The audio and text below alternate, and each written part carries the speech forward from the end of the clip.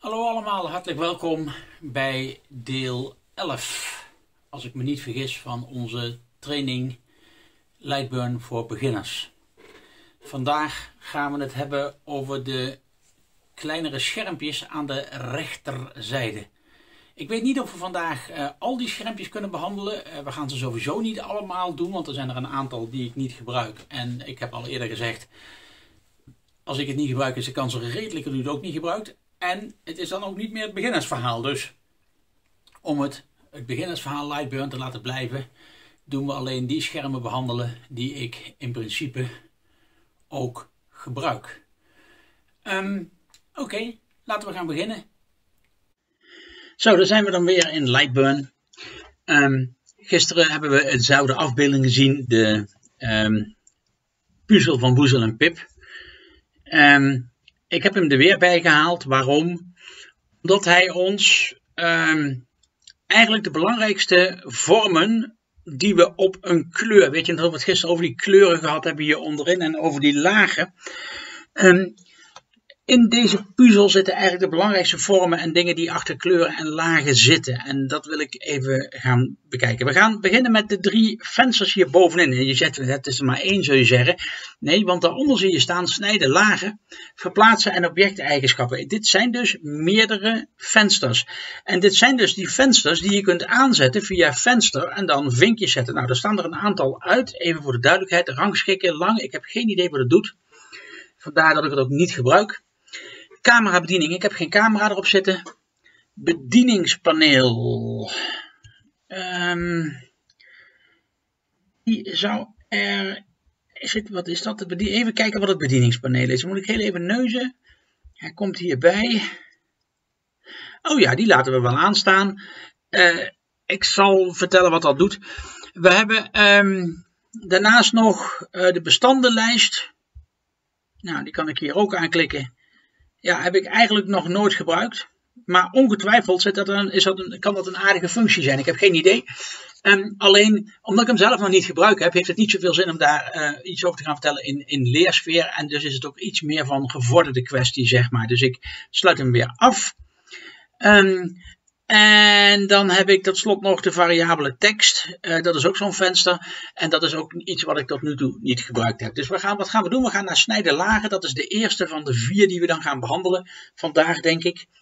Um, want om de, ook die drie hieronder nog te doen, dat wordt een vrij lang deel. We hebben ook gelijk de, de, belangrijkste te pakken. Snijden en lagen. We hebben het gisteren al over gehad. je kunt delen in je um, in hetgene wat je wilt lezen kun je op een bepaalde kleur zetten en elke kleur kun je iets bijzonders meegeven. Ik heb ook al laten zien gisteren dat er achter die kleuren om te beginnen zaken staan van het bijvoorbeeld die T1 met het hulpmiddel, dat het alleen een kader is. Dus met andere woorden, het is alleen een vierkant, wat verder niet, want er staat bij output niks. Dus niet gelezen wordt, het is dus meer een referentiekader. Je kunt bij tonen kun je aan of uitzetten of die getoond wordt, ja of nee. Nou, in referentiekader lijkt me juist handig om het te tonen, want daar doen we het juist voor. Uh, en er staat niks bij R, want omdat die niet gelezen wordt, uh, hebben we ook niks te maken met R assist. De andere vier lagen, die hebben los van dat er zeg maar dus die, die, die kleur en die nummering van die kleur is, die je overigens wel kunt veranderen, maar dan staat die in elk volgend project staat die weer op dezelfde manier, dus ik neem de moeite niet eens om ze te wijzigen. Um, los van dat, staat er daarachter afbeelding vullen lijn lijn. Daar kom ik zo op terug, want dat is het belangrijkste stukje. En daarachter zie je staan um, waardes als 1200-25. Dat wil zeggen de beweging 1200 mm per minuut. Dat is dus sneller als degene die eronder staat, die 1000 mm per minuut. En helemaal als die daaronder staat, 300 mm per minuut. Daarachter, achter de schuine streep, staat vervolgens de power die je gebruikt op de laser. 25% bij de afbeelding, in dit geval 30% bij het vullen, 75% bij de lijn. Dit is niet een standaardwaarde, lieve mensen. Dit heeft te maken met het materiaal waar je mee werkt. En er is een ander dingetje wat ik daarover zeggen wil. Dat is dat zeg maar over het algemeen wordt aangenomen dat um, als jij je laser permanent op 100% zou gebruiken, hè, dat zijn mensen die hebben zoiets van, nou, ding kan het toch, dus dan zet ik hem toch op 100%. Ja, dat kan, maar dat zal de levenstijd van je laser verkorten. Dus Probeer daar conservatief in te zijn. Probeer um, een waarde te vinden die doet wat jij wilt. en op de manier waarop jij het wilt. En met die waarde kun je dan ook gaan lezen. Nou, daarachter dan het schuifje voor output. Het zijn eigenlijk schuifjes. Hij staat nu naar links. Als hij naar rechts staat, staat hij uit. Output wil zeggen dat hij gelezen wordt. Ja? In dit geval zou ik dus ervoor kunnen kiezen om alleen de afbeelding te lezen en die andere drie niet. Dus die andere drie uit te zetten. Ze zijn er wel, maar ze staan uit. Dus hij, hij leest ze niet, zeg maar. Dat zou ik altijd weer voor tonen, want ik kan ze aan- en uitzetten, wel of niet laten zien. Dat kan soms handig zijn. Kan soms handig zijn, dat is, dat is gewoon zo. Um, daarachter dan komt het verhaal van R, oftewel de Air Assist. Um, maar ik heb gisteren al verteld dat dat alleen van toepassing is als jij een laser hebt die ingebouwde Air Assist heeft. Want als jij zelf Air Assist aanbrengt, dan kan dat never nooit aangestuurd worden door de software. Maar dan heb je er bijvoorbeeld een compressor naast staan die zeg maar lucht blaast door een slangetje die uh, door een of ander iets duns. He, bijvoorbeeld een nozzle van een 3D printer. Um, als RSS dient, maar die wordt niet aangestuurd door Lightburn. En vandaar dat die hier ook bij mij uitgezet wordt. Het belangrijkste waar we het eigenlijk over gaan hebben zijn die termen afbeelding, vullen, lijn, lijn.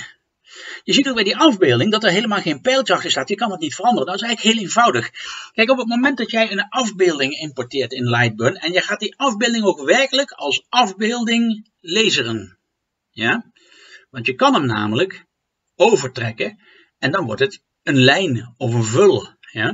Maar op het moment dat het een afbeelding blijft, dan heb je ook geen keuze om er iets anders in te stellen. Het is een afbeelding. Wat je wel kan doen, is de snelheid en het vermogen veranderen. En nog wat andere dingen zullen we zo meteen zien, want daar kan je wel degelijk nog wel wat dingen aan wijzigen. Um, maar het blijft een afbeelding. En je moet altijd even bedenken dat bij een afbeelding zal die ook als er op die plek niets staat. Zelfs als je een afbeelding hebt van een, um, ja, wat zou zeggen, een, uh, een bos rozen met geen achtergrond. Ja? Want dat kan. Je kunt foto's zo genereren dat ze geen achtergrond hebben. Dan nog zal die over die achtergrond heen lezen, ook al zit er niks, maar het is een afbeelding. Dus hij trekt consequent heen en weer over die afbeelding heen. En dat gaat dus veel langer duren dan dat je een lijn bijvoorbeeld zou gaan lezen. Want dan wil hij alleen die lijn tekenen. Nou, dat zijn dingen waar je in uh, het wat meer gevorderde gebruik mee te maken gaat krijgen. Laten we even gaan kijken wat er gebeurt als ik, die, als ik ga dubbelklikken op die afbeelding. Dus ga ik even doen. Ik ga hier, dus niet hier op die afbeelding dubbelklikken. Nou, kan misschien ook nog wel, maar ik ga het hier doen. Daar zo. Kijk, en dan krijg ik een nieuw venster te zien. Aan de linkerkant zien we opnieuw die kleuren terug. Dus ik kan in dit venster ook switchen tussen de groene, de kleur, de blauwe kleur, de rode kleur.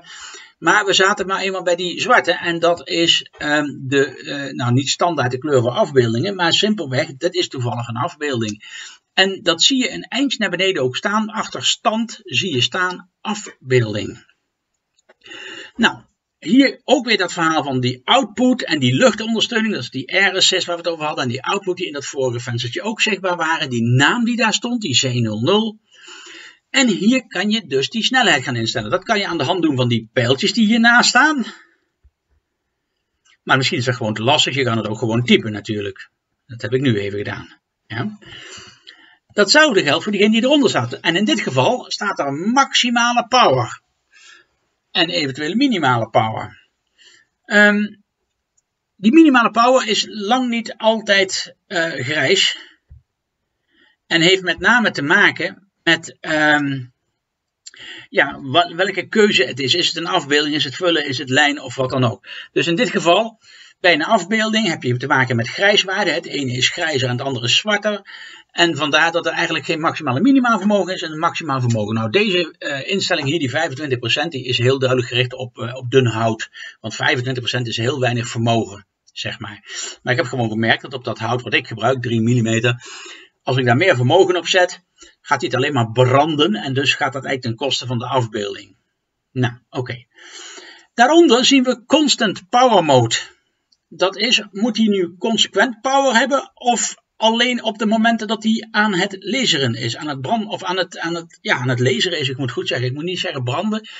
Um, het is wel branden, um, maar er zit wel een verschil of ik een afdeling laser, CQ brand, of dat ik een lijn snijd.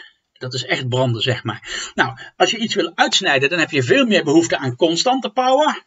Ja, terwijl bij een afbeelding je daar veel minder behoefte aan zult hebben. En ook dit is weer iets wat ongetwijfeld um, ten koste zou kunnen gaan van de levensduur van je laser. Oké, dan krijg je bidirectioneel graveren. Ja, het staat eigenlijk standaard uh, uh, wel ingesteld eigenlijk meestal, maar wat er gebeurt, je, je kunt het hier zien in dit plaatje. Bidirectioneel wil zeggen dat hij gaat naar boven en weer naar beneden. Naar boven en weer naar beneden. Stel dat ik dan naar uitzet, dan zie je dat de pijltjes één kant op gaan. Hij gaat naar boven, dan gaat hij wel naar beneden, maar hij leest niks naar beneden en dan gaat hij weer naar boven. Zie je dat? Dus ik zet hem altijd op bidirectioneel. Dat gaat namelijk voor je tijd. Maakt dat echt heel veel uit of je bidirectioneel leest of dat je dat niet doet. Um, kwalitatief maakt het eigenlijk, nou, ik mag het bijna niet zo zeggen, maar het maakt geen bal uit. Ja? Dan het verhaal of ik het afbeelding in het negatief wens te hebben. Nou, dat is eigenlijk iets dat doe je vaak al bij de voorbewerking van een afbeelding. En heeft te maken met op wat voor een ondergrond je gaat lezen. Is het een lichte ondergrond, in dit geval is het vrij licht hout, kan je op normale settings lezen. Wil je nu zeg maar op een um, lijsteentegel, ik noem maar wat, die is zwart, dan moet je eigenlijk het negatief lezen. Anders uh, komt het er niet goed uit, zeg maar. Dan krijgen we overscan. Ja, ik heb het ingesteld staan omdat ik het ooit een keer bij een video van iemand gezien heb die zei van het is interessant. Overscan wil zeggen dat hij niet direct als die aan de rand van dat plek, je hebt die afbeelding, die vierkant, hij komt aan de einde van die lijn en dan gaat hij dus weer terug. Maar als hij aan het einde van die lijn komt, gaat hij dan meteen terug of doet hij nog een, een 4% stukje overscan, een heel klein stukje doorlezen zeg maar. En dat is dan in dit geval 0,8 millimeter. Nou, dat is dus een heel klein stukje dat hij er overheen leest. Die man die gebruikte dat en sinds die tijd gebruik ik het ook. Je kunt het ook nog veranderen. Um, ja, eh, voor een beginner vind ik het nog niet zo interessant, laat ik het zo zeggen. Ik zou me kunnen voorstellen dat als je echt heel erg gebieds bent op kwaliteit en het moet dus geweldig uitzien, kun je daarmee gaan spelen met dat soort dingen. De volgende is de lijninterval. Dus hij leest het lijnen in dit geval uh, overigens van boven naar beneden. Dat zullen we zo meteen zien hoe je dat instelt, want het is namelijk te volgen zo meteen. Ja. Maar je kan ook van links naar rechts lezen. En als hij van links naar rechts leest, of voor mij wordt van links naar rechts, uh, van, van boven naar beneden. En hoe ver zijn die lijnen dan uit elkaar? Nou, denk even aan een televisie. Een televisie wordt tegenwoordig vaak uh, in inches en in pixels en zo gemeten. Weet je, hoe meer pixels, hoe zuiverder het beeld wordt. Dus zeg maar een 4K of een 8K, want tegenwoordig heb je ook al 8K. Ja, heeft alleen maar nog meer pixels, zeg maar. Hoe meer pixels, hoe zuiverder het wordt. Want hoe meer jij uh, detail ergens uit kunt halen. Nou, dat betekent dus dat hoe kleiner die lijninterval is, hoe mooier je afbeelding wordt. Maar er zit ook een grens, want het kan ook de zaak verknallen. Ja. Die 0,083 die heeft eigenlijk te maken met die DPI die erachter staat, die 306 DPI. En dat zal ik even laten zien. Als ik uh, die 0,083 ga veranderen naar beneden, dan zien we die DPI oplopen. Zie je dat? Aan de rechterkant. Ik ga nu weer de andere kant op. En dan zie je dus die DPI veranderen. Nou, meestal is het zo dat als jij foto's in orde maakt, bewerkt, van tevoren bewerkt om te gebruiken in een programma als Lightburn, wordt daar ook de DPI gemeten. En dat is de dots per inch, oftewel de pixels per inch. Ja. Het handigste is om je uh, te houden aan diezelfde DPI als ook die foto heeft, waarbij de sweet spot voor zo'n um, zo'n diode lezen, zoals ik dat heb, die sweet spot die ligt ongeveer tussen de 300 en 318, 320 dpi, zeg maar. Dus meestal is het 318 dpi. Dat is gewoon een hele nette waarde om mee te werken. Maar weet je het nou niet? Houd je dan aan de dpi van de foto, maar bedenk wel dat hoe lager de dpi, hoe korreliger de foto gaat worden en hoe moeilijker die mooi te krijgen is. Dan krijg je de graveerhoek in graden. Die staat bij mij in 90 graden. En dit is de reden waarom die bij mij van omhoog omlaag lasert. Um, ook dit heb ik simpelweg gedaan omdat ik ooit ergens een video van iemand gezien heb die zei van ja, het resultaat is, vind ik, ik vind het resultaat mooier als ik dat van naar boven naar beneden doe. Zullen de meningen over verdeeld zijn. Um, ik doe het van boven naar beneden. Je kunt zelfs schuin als je dat wilt. Dus als ik dit nou zou gaan veranderen naar um, ehm, 135, dan zie je dat die afbeelding daar ook schuin aan het lezen is. Zie je dat? Dus met andere woorden, je kunt zelfs schuin. Misschien dat dat zelfs sommige mensen een voorkeur heeft. Voor mij persoonlijk niet. Ik zou zelf um, het zij van boven naar beneden, het zij van links naar rechts lezen. De zetcompensatie staat hier niet aan, um, zal uh, ook niet aangaan bij ons soort diodelezers. Waarom? Z is de as van omhoog en omlaag en uh, mijn diodelezer die, die heeft een vaste as. Het is veel meer iets voor een CNC-freesmachine, want die moet bijvoorbeeld van boven naar beneden. Dus dat is de Z-as en het kan zijn dat daar compensatie op nodig is. Dan krijgen we de afbeeldingsmodus. En dat is wel een hele interessante. Hij staat op dit moment op Jarvis ik hem aanklik, dan zien we er nog veel meer staan. Drempelwaarde, geordend, Atkinson, korrelige weergave, stoekie, krantenpapier, halftoon, schetsen en grijswaarde. Grijswaarde kennen we vast. Als we een foto in het zwart-wit zetten, is dat eigenlijk een foto in grijswaarden. Alleen de lezer heeft het daar verschrikkelijk moeilijk mee. En eh, vaak zal die te heet met de laser eroverheen gaan, waardoor de afbeelding niet mooi wordt. Dus met grijswaarde wordt over het algemeen niet gelezerd. Waar wel mee gelezen wordt, is wat ze noemen een dithering. Een, um, ja, stippeltjes, zeg maar. Nou, en daar zijn vooral zaken als stoekie, jarvis en krantenpapier. Dat zijn heel veel gebruikte waardes. En kijk er maar eens op andere videokanalen op. En dan zul je zien dat de een die zweert bij Atkinson, de ander die zweert bij krantenpapier, de derde die doet altijd stoekie gebruiken. Je ziet het ook veranderen. Uh, kijk vooral naar die afbeelding hieronder. Als ik hem nu naar uh, krantenpapier zet, zie je dat die afbeelding verandert. En je ziet dat dit korreliger is dan dat Jarvis is. Alleen je lezer moet het wel aankunnen. Dus je moet een beetje experimenteren ermee welke ik gebruik. Maar als ik een afbeelding lezer, ook op tegels en dat soort dingen meer, eigenlijk nooit in grijswaarde. Altijd een van die andere, Jarvis of ik gebruik zelf heel vaak krantenpapier. Omdat ik daar best wel goede resultaten mee gehad heb. Want kijk wat er hier heel slecht uitziet als je dit doet. Dat kan zeg maar in een grotere dichtheid wel eens heel netjes zijn en heel fraai zijn. Ja? Goed, die woezel pip aan de linkerkant is dus met Jarvis gebeurd. En um, niet onbelangrijk dus. Daarnaast zien we een optie staan die heet Pass Through. Ik heb uh, een van mijn video's die over um, met name het werken op tegels bijvoorbeeld gaat, heb ik laten zien dat je een website kunt gebruiken als imager.com. En imager.com daarmee doe je als het ware die foto voorbewerken voor het lezen. Maar dat betekent dat je settings in, dat, in, in die website al doet op die foto. Dan is het dus ook niet zo handig dat als je die foto in Lightburn gaat gebruiken, dat je nog eigen settings gaat meegeven. En daarom gebruiken we pass-through. In dit geval is het niet gebeurd. Maar normaal zou je dan dus in dat geval de pass-through aanzetten. Dus dat je hoef je ook geen setting meer te doen. Tenminste, ja, je power en je, en, je, en je snelheid en zo. Maar niet over zaken als Jarvis of weet ik wat dan ook. Want dat is al gebeurd op die website. Ja? Op het moment dat je de pass-through uit hebt staan, ja, dan kun je dus wat keuzes maken. Ik zal hem voor de grap eens even aanzetten. Ja, dan zie je dat hij automatisch uh, een aantal dingen hier heeft uitgeschakeld. Ik kan de lijninterval en de DPI niet meer aanpassen. Ik kan de afbeeldingsmodus niet aanpassen. Um, en nog een aantal andere dingen. Daar linksonder bijvoorbeeld vul alle vormen tegelijk, vul groepen tegelijk. En vul vormen afzonderlijk. Dat kan ik niet meer aanpassen. Nou, ik zet hem weer uit. We zien nog wat meer dingen. Um, cellen per inch uh, staat uit. Ik weet niet waar het precies mee te maken heeft. Maar het zal waarschijnlijk te maken hebben met een van die afbeeldingsmodussen. En dat geldt ook voor de hoek halftoon. Um, het zijn ook waarden die ik nooit veranderd heb. Een waarde die wel soms van toepassing is, maar niet bij die afbeelding naar mijn mening, is het aantal keren waarop je over die afbeelding heen zou gaan. Kijk, bij een snijlijn kan het best wel eens zijn dat je zeg maar niet zo heel snel het object kunt snijden. Dat je zeg maar echt vier, vijf keer eroverheen moet om daadwerkelijk eh, dat object te snijden. En dat doe je dan met die aantal keren. Dan kun je nog een hellingslengte instellen. Um, ja, ik gebruik het eigenlijk niet. Het is een beetje zeg maar of die, of die laser uh, een beetje schuin erin snijdt of dat hij zeg maar recht erin snijdt. Ehm, ik heb daar nog geen voordelen in gezien. En aan de linkerkant vul alle vormen tegelijk, vul groepen tegelijk, vul vormen afzonderlijk. Nou, dat wil simpelweg zeggen dat zeg maar een, hij staat nu ingesteld vormen afzonderlijk. Dat betekent dat hij uh, het eerste figuurtje eerst doet, het tweede figuurtje als tweede.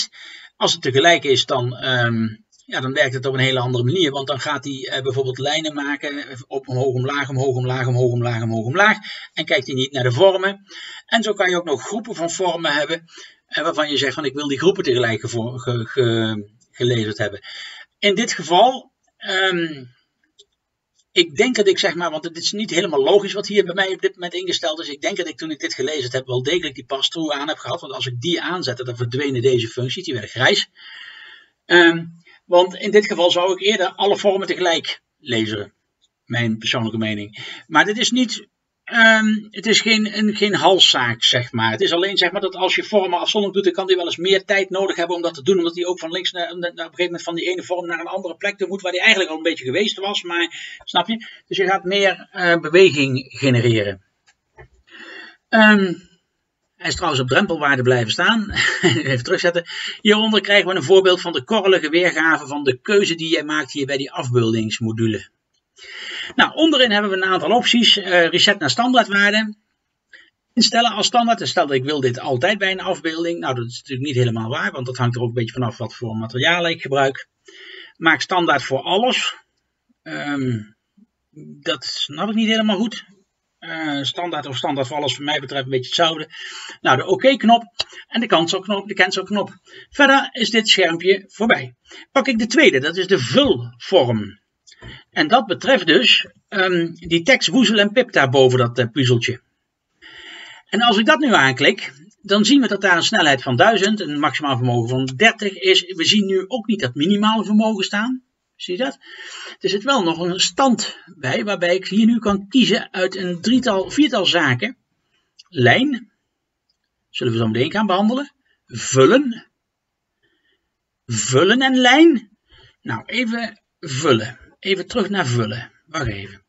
Vullen is dus dat de letters, zoals je hierboven bij Woezel en Pip ziet, gevulde letters zijn. En niet zoals ze in het tekeningetje, zoals ze in de, de afbeelding zelf, zeg maar de outline is van Woezel en Pip. Zie je dat? Um, dus vullen is de, de, de letter ook echt gevuld. Nou, vullen en lijn wil zeggen dat hij de letter vult en dan toch nog even een lijntje eromheen trekt om het net iets, ja, net iets bijzonderder eruit te laten zien. En dan krijg je net iets mooiere weergave van, zeg maar. Het hangt er een beetje vanaf wat je aan het maken bent. Voor die puzzel vond ik dat nou niet zo super belangrijk. En dan hebben we de laatste, en dat is een hele grappige, die klik ik heel even aan. Uh, die verander ik zo weer hoor. Dus offset en kijk wat er met dat bewegingje van dat links-rechts en rechts naar links gebeurde. Dat is nu dat hij zeg maar vanuit het midden als het ware uh, een cirkel gaat trekken, een, een, een spiraal gaat maken. Um, en dat kan bij sommige objecten erg interessant zijn. Ik heb het toevallig laatst gebruikt. Waar was dat bij? Oh ja, ik uh, ging domino maken. En op domino stenen staan stippen. En ik heb die stippen met opvulling offset gedaan, zodat hij eigenlijk die hele stip een gelijkwaardige um, ja, brandlaag heeft, zeg maar, zodat de, de kleur identiek is. Ik ga hem even terugzetten naar vullen, want daar waren we mee bezig. Oké. Om, we zien ook dat we nu twee tabbladen hebben, gemeenschappelijk en geavanceerd. Ah, kijk, we hebben nog een geavanceerd tabblad. Niet dat we er veel gebruiken, kan ik gelijk zeggen. Maar goed. Hier hetzelfde verhaal, bidirectionele vulling, uh, raster. Even kijken wat er gebeurt als ik raster aanklik ja, wat ik hiervan moet voorstellen. Even kijken. Dus dan gaat hij ook nog een keertje heen en weer, zou je haast zeggen. Maar dan zou je het er op zijn minst twee keer moeten lezen, denk ik dan. Ja, oké. Okay. Dat is niet zo interessant, maar dan, um, dan gaat hij niet alleen omhoog, omlaag, maar ook nog rechts naar links. Uh, op metaal is dat bijvoorbeeld erg interessant, maar een diodelezer op metaal is niet echt het meest ideale. Dan krijg je die overscan weer, die lijninterval. Nu hebben we het natuurlijk niet over DPI, want het gaat over het vullen van het object. Dus we hebben het niet over DPI. Het enige waar het over gaat, en dat is ook een van de belangrijkste dingen bij een diodelaser, snelheid en power. Dat zijn de twee zaken waar het over gaat.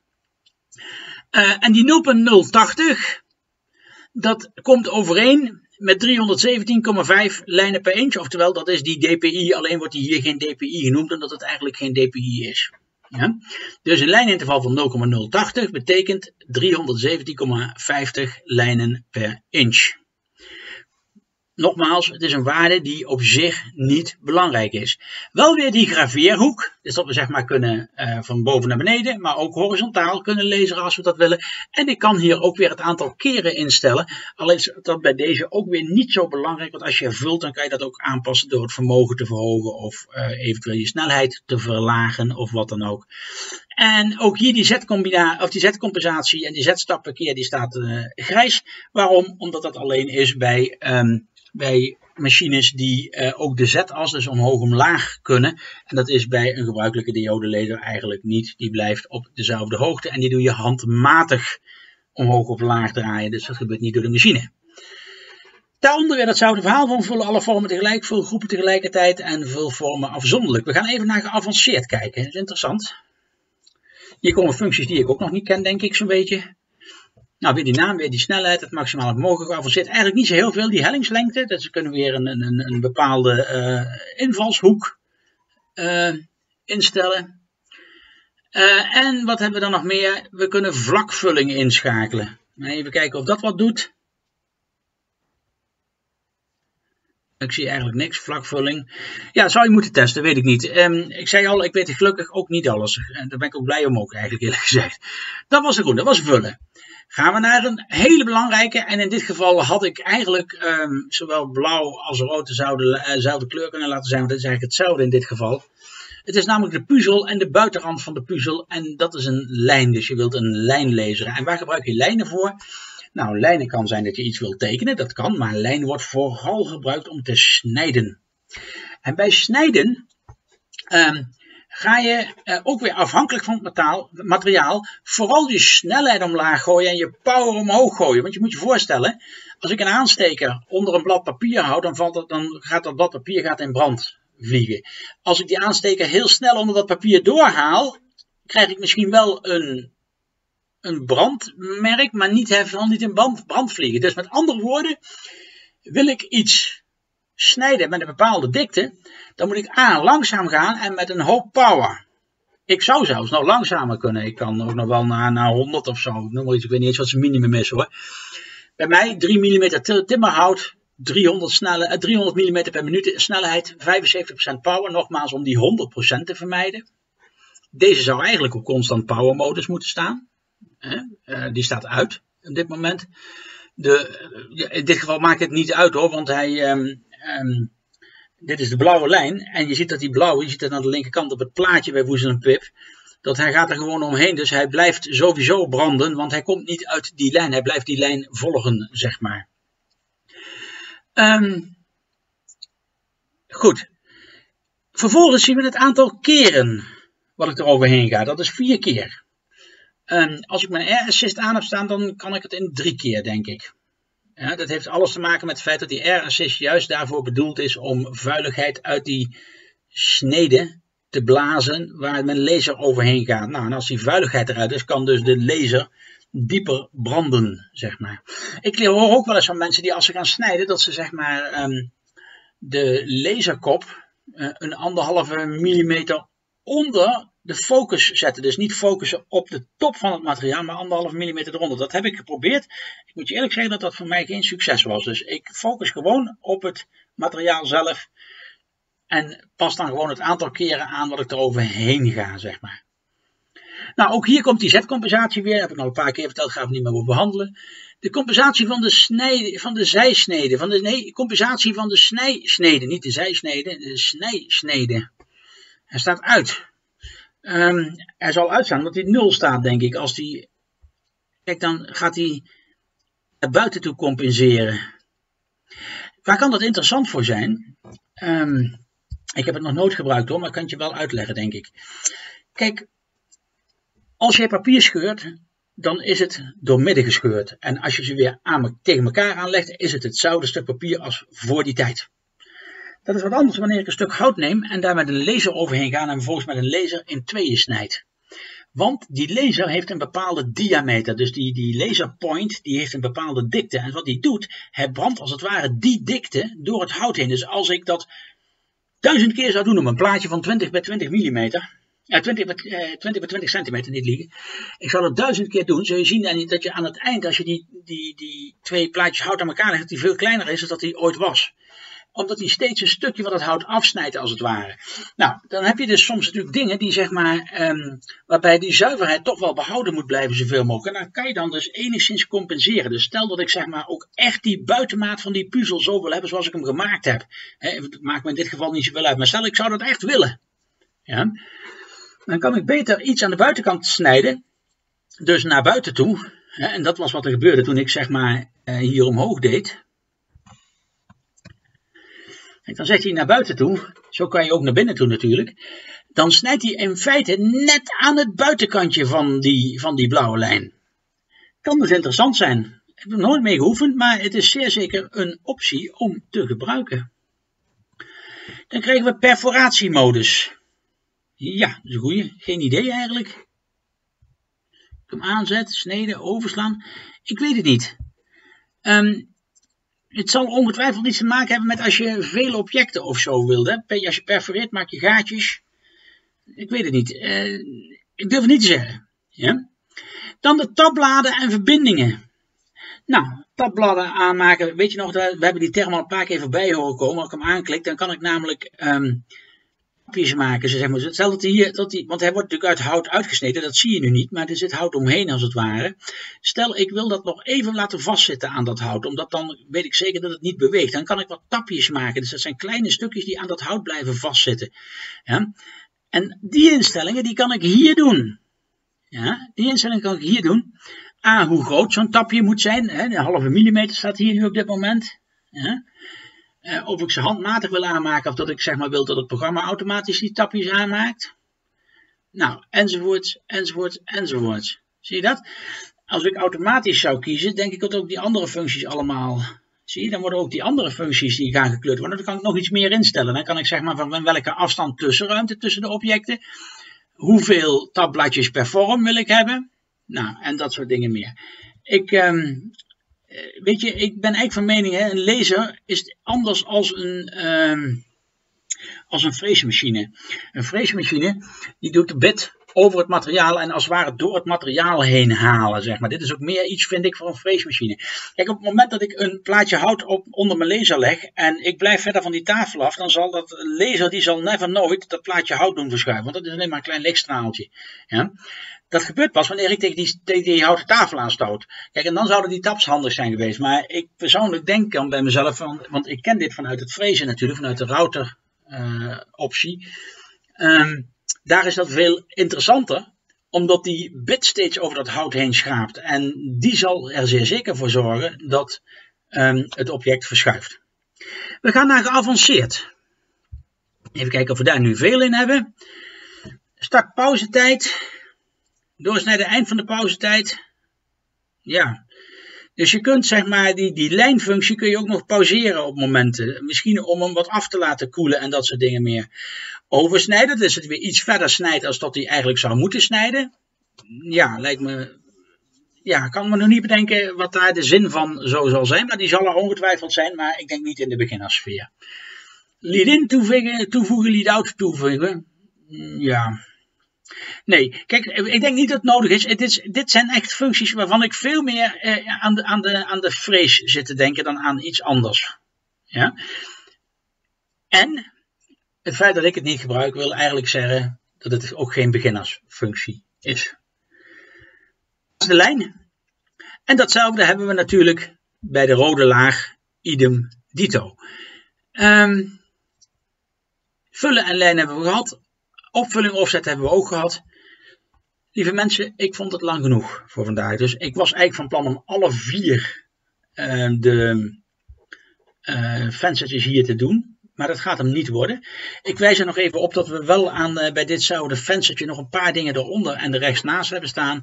Nou, wat er eronder staat, dat zijn eigenlijk dingen die we allemaal al net hebben ingesteld. Hè. Dat is de laagkleur, de snelheid, het maximale vermogen, het minimale vermogen, het aantal keren. Um, dat, uh, dat die er overheen gaat, zeg maar. En de interval, Um, in millimeters is zeg maar hoeveel ruimte zit er tussen de lijnen, de dpi's zeg maar. En aan de rechterzijde zien we wat um, zaken die we kunnen verschuiven. En we zien bijvoorbeeld dat we zeg maar die afbeelding uh, ook naar beneden kunnen verplaatsen, want dit is wel ook de volgorde waarin de laser te werk gaat. Nou, als we een lijn willen weggooien, dan in de prullenbak. Uh, even kijken naar rechts verplaatsen. Ja, dat is, er valt niks naar rechts te verplaatsen. Um, nee, dat, dat, die twee uh, snap ik nog niet zo goed. Maakt verder niet uit. Um, je ziet welke mogelijkheden daar in dit venster zitten. Bij de volgende training, bij deel 12, gaan we het hebben over verplaatsing, het bedieningspaneel en de objecteigenschappen. En misschien ook nog wel naar beneden. Maar het kan ook zijn dat, zeg maar, dat we zoveel te vertellen hebben over weer zo'n venster. dat ehm, ja, we er toch een extra training tegenaan moeten gooien. Voor vandaag was het dat. Eh, dit was een hele belangrijke, snijden en lagen. Ehm, ik wens u alvast weer een hele fijne avond. Ik hoop dat je ervan geleerd hebt. Tot de volgende keer. Dag.